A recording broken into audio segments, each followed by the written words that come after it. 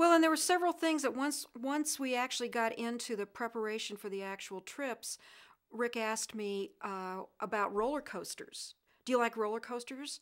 You know, the sensation of going up really high and then slamming back down towards Earth. And I said, No, I hate them. They're horrible. And he said, Not good. And then he, before the experience, talked about body surfing, how you go with the wave. And the first time I ever body surfed, I almost drowned. So, you know, I didn't have some real good background uh, analogies to go with here.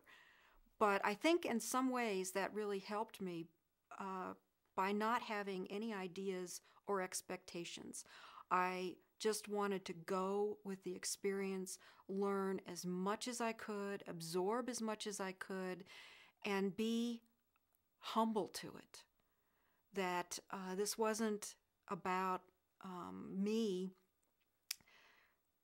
so much as it was about learning.